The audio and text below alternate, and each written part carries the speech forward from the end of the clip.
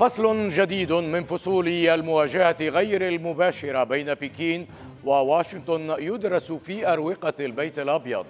اتفاق في مرحلة الصياغة يسعى إلى كبح نفوذ الصين في محيطها. يتخذ غطاء التكنولوجيا ويشمل دولا في المحيطين الهندي والهادئ. اتفاق يدخل في حسابات السياسة والاقتصاد ويفتح ساحة جديدة للتوتر بين أكبر اقتصادين في العالم. أهلا بكم إلى برنامج الرابط.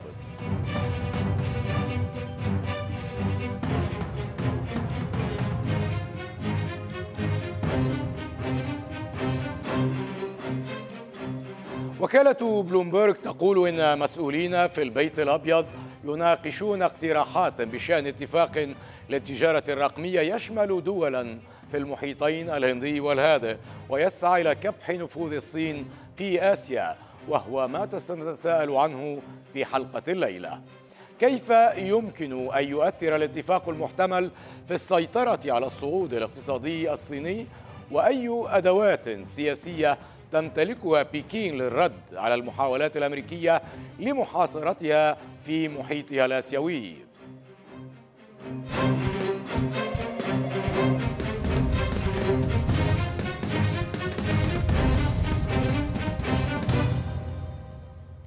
مواجهة الصين والحد من نفوذها في آسيا باتت الشغل الشاغل لإدارة الرئيس بايدن تارة بتوثيق أواصر التعاون مع الحلفاء وطورا بدفع آليات عسكرية إلى المحيطين الهندي والهادئ. مواجهة تأخذ أشكالا عديدة وصلت اليوم إلى الفضاء الرقمي. بالنسبة لبايدن ما قبل تولي المنصب لم يكن كما بعده. في هذه الحملة عندما كان مرشحا يحشد الدعم للوصول إلى البيت الأبيض. قال إنه لن يبحث عن اتفاقات تجارية جديدة إن صار رئيسا. فهمه الاستثمار في دعم العمال وتحسين المجتمع الأمريكي دون سواه. واليوم تنقل بلومبرج عن مسؤولين في إدارته أنهم يناقشون اتفاقية للتجارة الرقمية. تشمل دول المحيطين الهندي والهادئ هناك حيث يتمدد نفوذ بكين عسكريا. وكذلك اقتصاديا بالعموم تفاصيل الاتفاق هذا ما زال قيد الصياغة. بنوده تحدد قواعد استخدام البيانات وتسهيل التجارة وترتيبات الجمارك الإلكترونية. أما وأنه يشمل كندا واليابان وأستراليا ودولا أخرى فهذا أيضا غير مستغرب. هذه الدول ذاتها بات شغلها الشاغل الحد من نفوذ الصين. يحار كثيرون ربما في تفسير هذا التحول في سياسة بايدن قبل الانتخابات وبعدها. هو الذي أمضى الأشهر الأولى من ولايته لتنفيذ اتفاقيات تجارية أبرمت سابقا وتجنب الخوض في طرح أي جديد. لكن مواجهة الصين تتطلب أن يكون الأمريكيون في آسيا حقا كما يرددون. وهذا يتطلب توثيق العلاقات مع الأوروبيين أولا وهذه حصلت. وكذلك تفعيل تحالف كواد مع أستراليا والهند واليابان وهذه تمت وتنفيذ انسحابات عسكرية متتالية من هنا وهناك وتوجيه القوات لمواجهة بكين في المحيطين الهندي والهادئ وهذه قيد الإنجاز. يدفع المدمرات إلى هناك بيد وبأخرى يقلب صفحات اتفاقية التجارة الرقمية لتكون المواجهة متكاملة على جميع الصعود. بالنسبة لمسؤولين أمريكيين لن تتعرض هذه الاتفاقية لمعارضة تذكر. ستمر من دون موافقة الكونغرس حتى. لكن المواجهة مع الصين تتطلب المزيد. فهناك مجال آخر للمنافسة. يتعلق بأمن البيانات لم تتخذ واشنطن حيالة أي إجراء. أما الصين فمنذ يوم واحد فقط طرحت مسودة عمل لتطوير صناعة الأمن الإلكتروني في البلاد. وهذا يتيح التأكد من أن شركات التكنولوجيا المحلية لا تعرض معلوماتها للخطر عندما تسعى إلى إدراج أسهمها في الخارج والخارج يعني هنا السوق الأمريكية.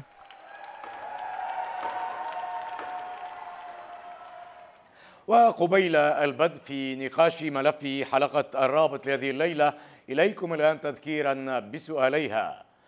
وكالة بلومبرج تقول إن مسؤولين في البيت الأبيض يناقشون اقتراحات بشأن اتفاق للتجارة الرقمية يشمل دولا في المحيطين الهندي والهادئ ويسعى إلى كبح نفوذ الصين في آسيا وهو ما نتساءل عنه في هذه الحلقة. كيف يمكن أن يؤثر الاتفاق المحتمل في السيطرة على الصعود الاقتصادي الصيني؟ وأي أدوات سياسية تمتلكها بكين للرد على المحاولات الأمريكية لمحاصرتها في محيطها الآسيوي.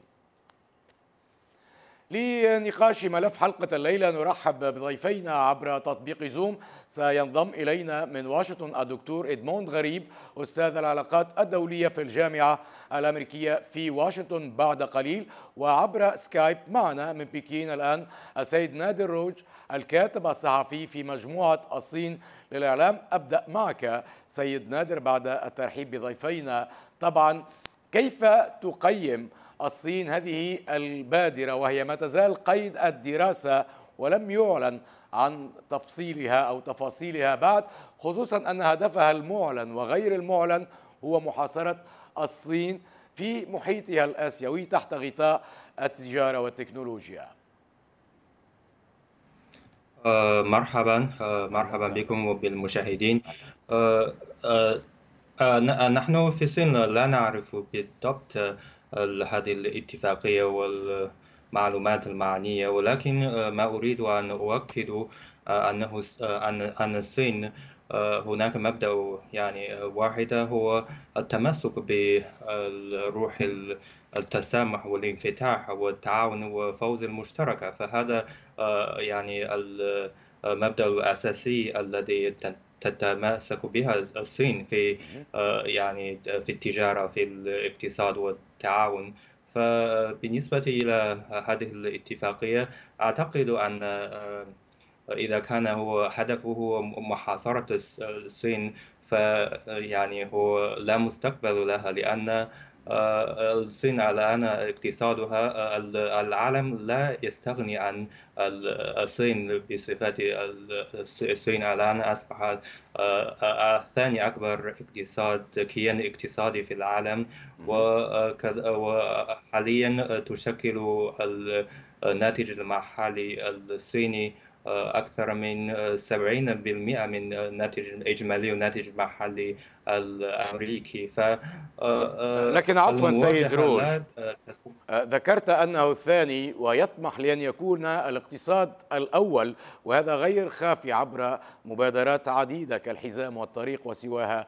وكالة بلومبرغ تقر أنه في غضون 2035 أقصاها 2038 قد يصبح الاقتصاد الصيني الأول والمتسيد على العالم. مثل هذه المساعي هي ترمي إلى كبح جماحة بالتأكيد.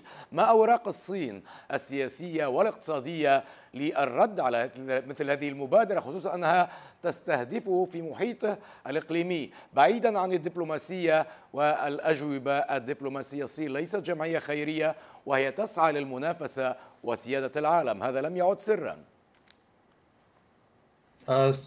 نعم الصين هو يريد أن تطور نفسها وتطور اقتصادها وتصبح الحياة الشعب أفضل وأجمل.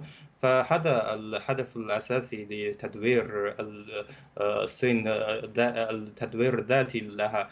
فيمكن أن نرى التجارب في خلال هذه السنوات الطويلة أن تجارب الصين كانت ناجحة وهو هو يعني تسعى إلى التعاون والتنمية الاقتصادية لنفسها رغم وتركوا الخلافات وإيجاد نقاط المشتركة للتعاون. فهذا هو يعني الطريقة صحيحة وأثبتت الحقائق أن هذه طريق التنمية السلمية هو طريق صحيح لتدوير القوة الاقتصادية فأعتقد أن لا يمكن أن نعود إلى يعني فترة الحرب الباردة. يعني مجموعة صغيرة من الدول تتحالف ضد مجموعة أخرى. فهذا نعتبره لعبة صفرية يعني لا نعم. فائزة لهذا.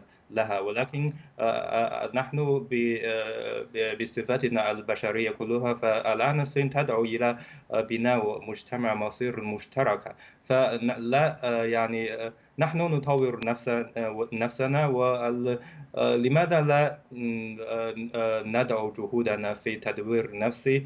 ولماذا لا يعني ندعو كل جهودنا إلى الكبح الدول الأخرى نمو دول أخرى.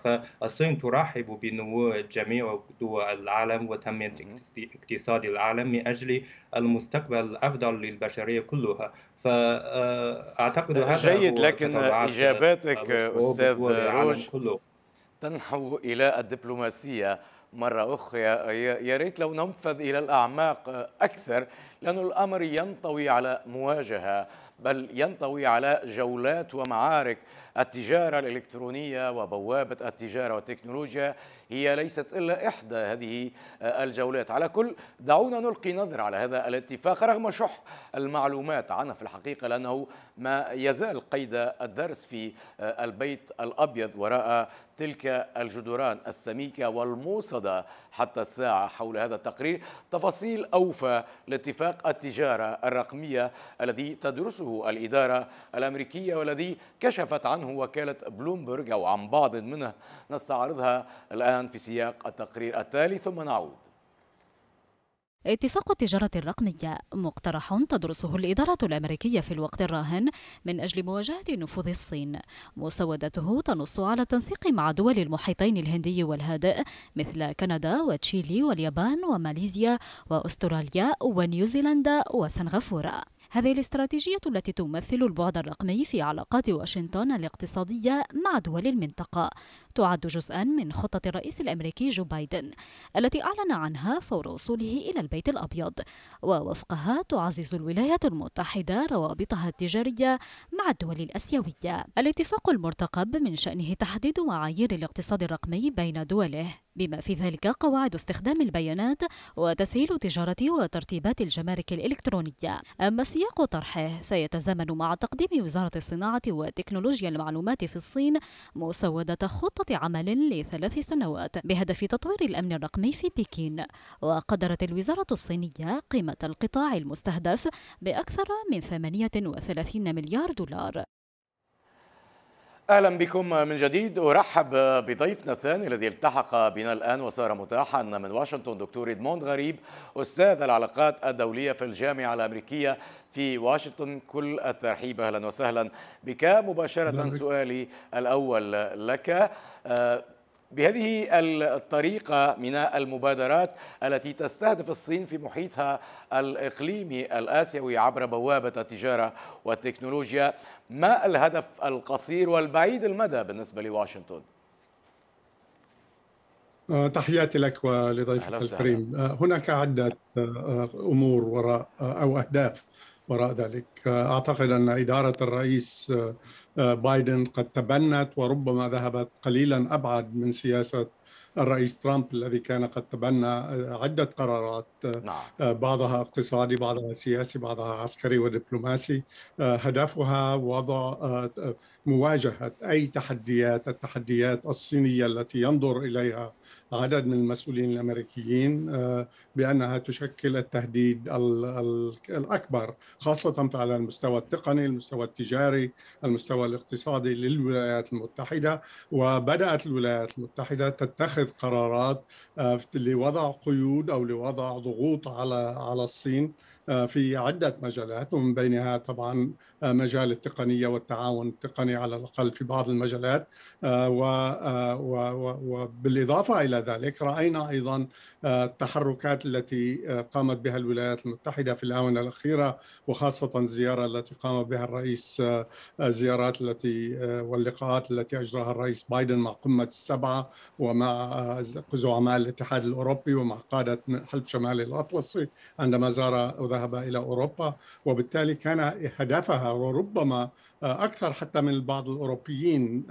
مثلا الإشارة إلى الصين بأنها تشكل تهديد قادم ومستمر للاستقرار من ناحية وأيضا للدور الذي تلعبه في داخليا فيما يتعلق بحقوق الإنسان. وقد رأينا ربما من أفضل الأمثلة على ذلك ما قامت به الإدارة يوم أمس حيث أن نعم. وزارة الخارجية أرسلت رسالة تقرير إلى الكونغرس.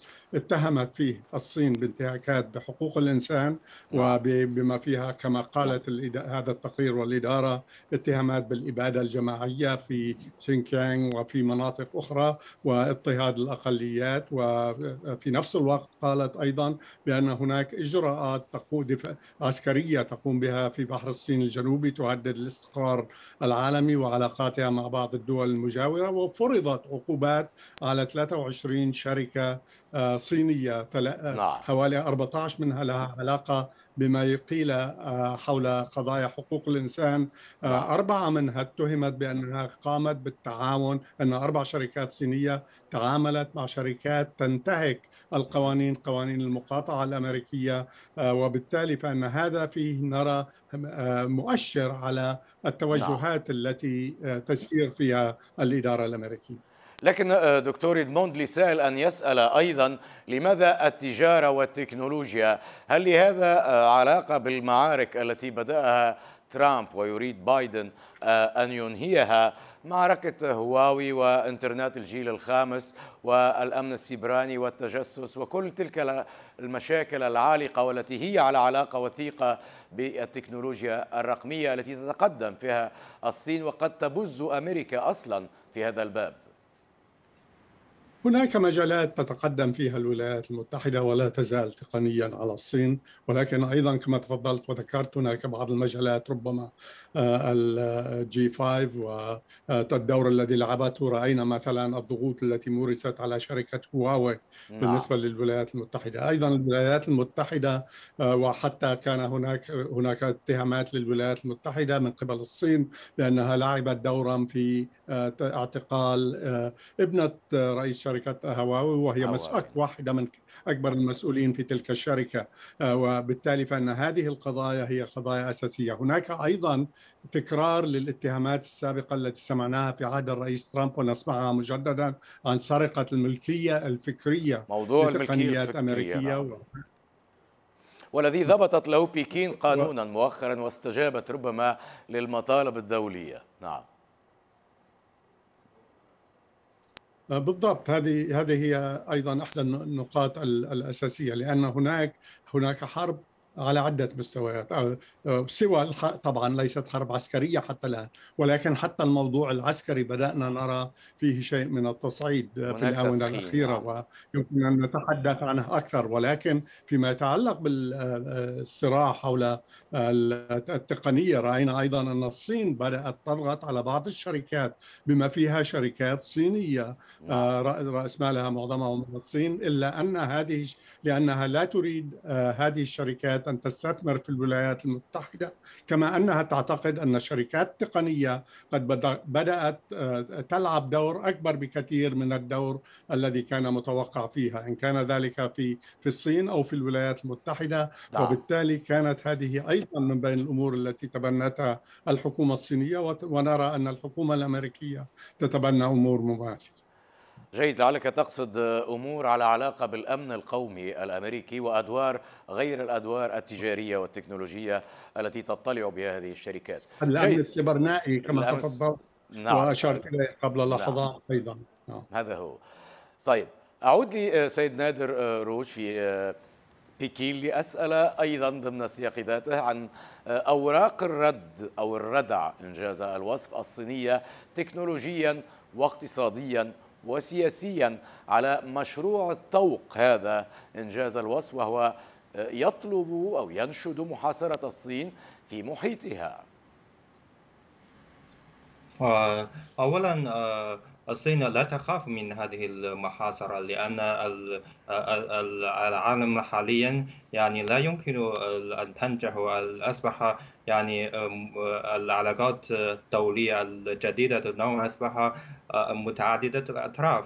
فالدول معظم دول العالم تسعى إلى التعاون وإزالة حواجز التجارية لكن عفوا أيضا ما تقوله صحيح لكن العالم مقسم إلى أحلاف وإلى الصفاف.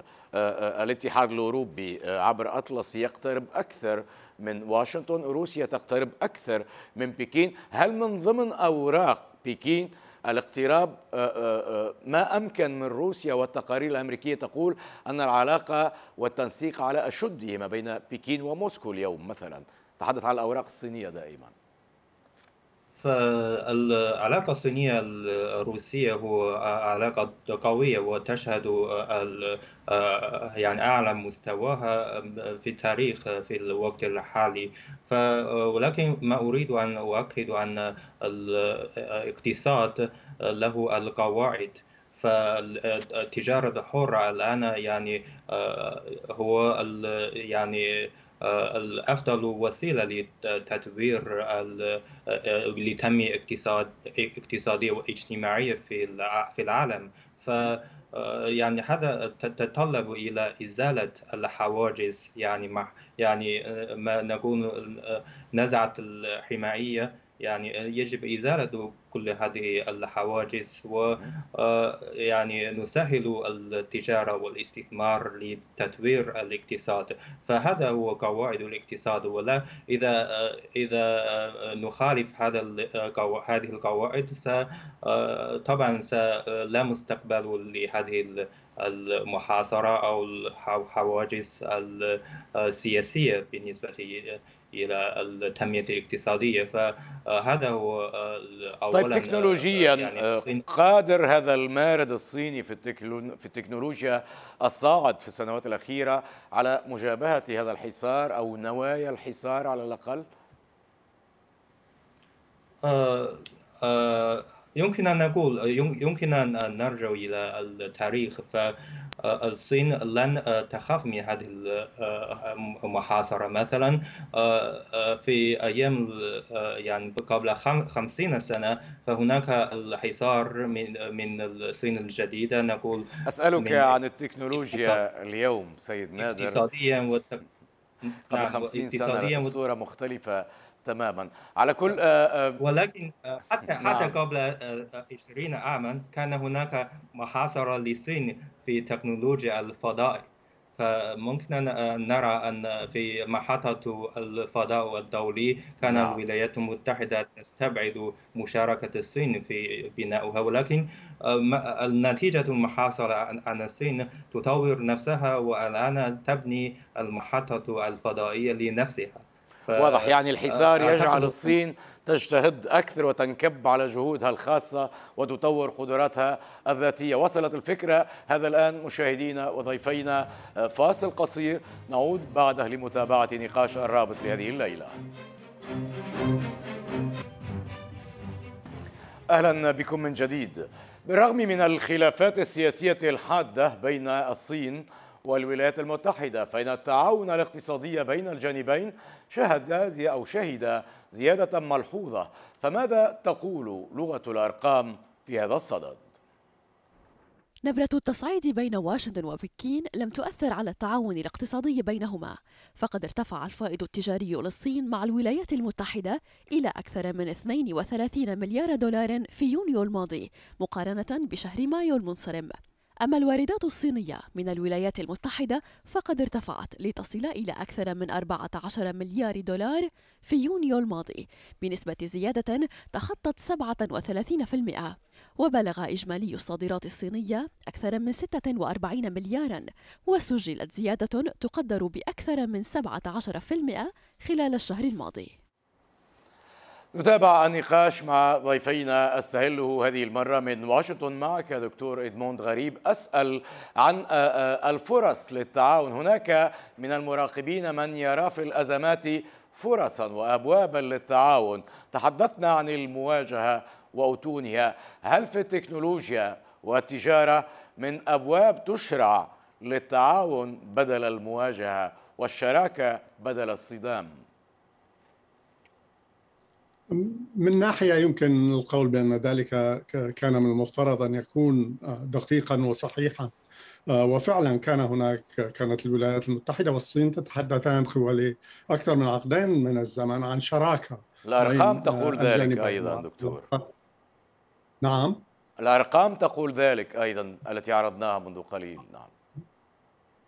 بدون شك بدون شك كان هناك حديث وكان هناك تعاون كبير كثير من وهذه ولكن هذه أيضا كانت هي ما أدى إلى بداية الخلافات بين الولايات المتحدة وخاصة في عهد إدارة الرئيس ترامب وبين الصين. وذلك لأن كان هناك يعني تفوق تجاري صيني بأكثر من 200 مليون دولار مليار دولار سنويا على أن الصين كانت تورد إلى الولايات المتحدة آه، كميات من المنتوجات المختلفة وبيصل لأنها أيضا وجدت سوقا لها في آه، في في الولايات المتحدة بسبب آه، تحسن جودة الإنتاجات الصينية من ناحية وبسبب رخص أسعار أيضا هذه المنتوجات مقارنة بالمنتوجات الأمريكية. وفق حتى أن الولايات المتحدة فقدت بعض الصناعات بما فيها إلى حد ما صناعة الفولاذ آه، وغيرها وانتقلت الكثير من الشركات إلى الصين ولذلك رأينا أن الرئيس ترامب بدأ بفرض آه، رسوم تجارية ووضع قيود آه. وانتقاد للصين بأن عليها أن تزيد من شرائها من المنتوجات الأمريكية إن كانت زراعية أو أو صناعيه مفهوم هذا نعم. دكتور أن مفهوم أن تستهدف هذه الضرائب والأداءات آه، على المنتوجات التي ستدخل السوق الأمريكية، لكن اللافت هنا أن أمريكا تستهدف الصين في محيطها الآسيوي، لماذا في آسيا بالذات؟ ألا يمكن أن يلعب كل في مجاله الحيوي كما يقال، وهناك تقسيم للسوق والأسواق العالمية في النهاية. فعلا. اولا الولايات المتحدة إذا نظرنا إلى الاستراتيجية التي بدأنا آه، نسمعها أو نقرأ عنها آه، في بعض الدراسات وببعض التقارير التي قدمتها وزارة الدفاع أو بعض الوزارات المسؤولة الاخرى أو حتى في الكونغرس الأمريكي هذه التقارير بدأت تتحدث عن الصين بأنها تشكل تهديد للامن القومي الأمريكي. وبأن الصين كانت هناك طبعا الكثير من الاتهامات التي نسمعها آه، حول ما ذكرناه في السابق وهو موضوع حقوق الإنسان في عدد من المناطق تعامل الحكومة الصينية مع الأقليات وغير ذلك فرض العقوبات على شركات صينية بعضها له علاقة مثلا بالتجارة مع إيران أيضا. آه، هناك العديد من القضايا. هناك أيضا قضية أخرى مهمة جدا ولا نسمع عنها كثيرا وهي قضية ما يعرف برير ايرث أو القضاء المعادن النادرة. الولايات المتحدة بعد الحرب العالمية الثانية كانت هي المصدر الأول لهذه المعدات المعادن آه، وهي أساسية في عدة أمور. مثلا هي مهمة في صناعة مثلا إنتاج القنابل الذكية الحرب نعم. آه، المضادة للغواصات والمناظير الليلية أجهزة الليزر والرادار آه، نظم التوجه التوجيه الإلكتروني الأقمار الاصطناعية الإلكترونيات الطائرات المدنية والعسكرية. وهذه تعتمد على هذه المعادن. الصين تتفوق لديها تفوق ب 17 معدن من هذه المعادن على الولايات المتحدة وهي تملك حوالي 80% منها. وفي روسيا تملك مثلا معدن البلاديوم وهو أكثر من أي دولة أخرى في العالم. نعم. وما نراه الآن هو أن هناك إنتاج الإنتاج الصيني في هذا في هذا المجال يتفوق. آه، والتصدير الصادرات وصلت في الصين إلى حوالي 138 ألف طن في السنة الماضية بينما كانت في الولايات المتحدة حوالي 38 ألف طن هذا نعم. وهذه ضرورية لمنتجات طبية عسكرية صناعية صناعة السيارات نعم.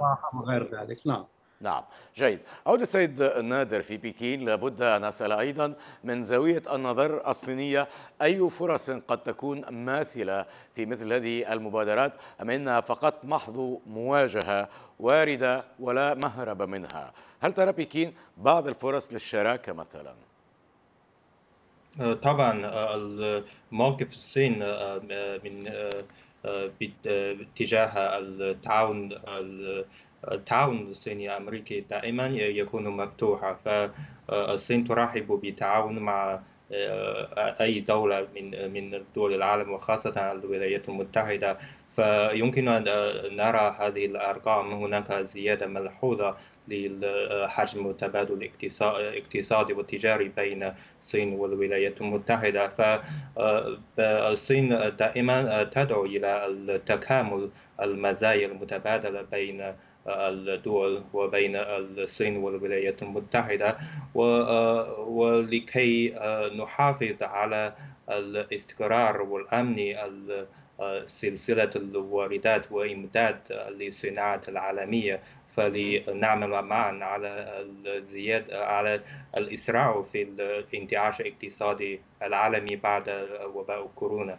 فهذا هو موقف الصين الدائما تجاه التعاون الصيني الأمريكي.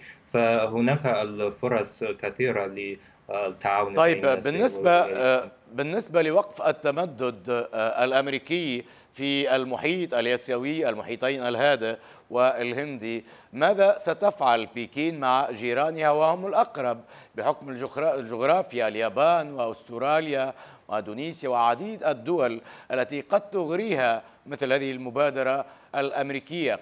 هل يمكن أن تقدم بكين مبادرة أكثر إغراء لجيرانها الصينيين الآسيويين عفوا كرد على هذه المبادرة الأمريكية في التجارة والتكنولوجيا؟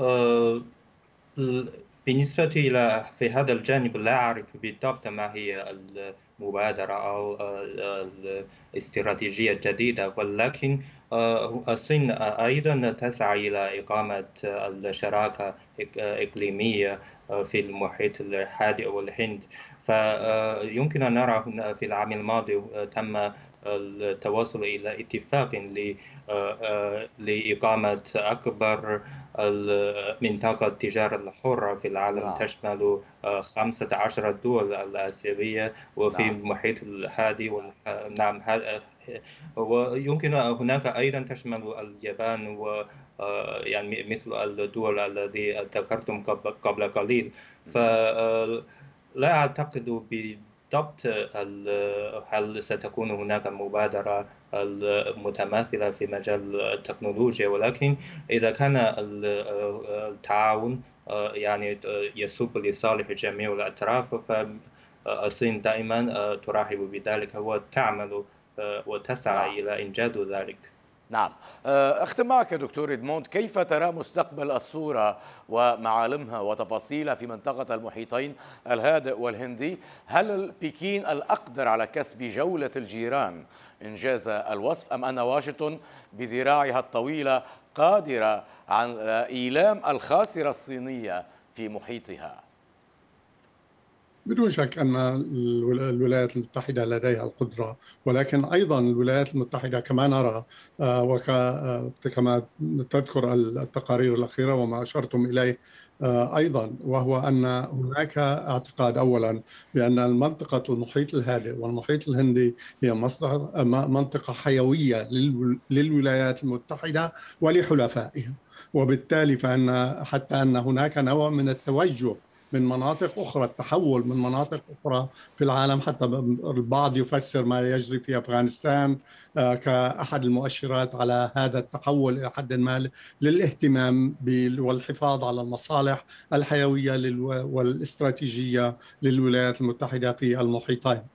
المسألة الثانية وهي مهمة جدا وهي أن الولايات المتحدة آه، بدأت تأخذ ورأينا ذلك من خلال التصريحات التي أدلى بها يوم أمس وزير الخارجية الأمريكي بلينكن عندما قال وحذر آه، من أنه إذا حدثت مواجهة سيد إدموند ما نعم. تقول على قدر من الأهمية لكن الوقت انتهى. لابد من أختم وأشكرك قبل ذلك من واشنطن دكتور إدموند غريب أستاذ العلاقات الدولية في الجامعة الأمريكية في واشنطن. أشكر أيضا من بكين السيد نادر رونغ الكاتب الصحفي في مجموعة الصين للإعلام. كل الشكر لكما.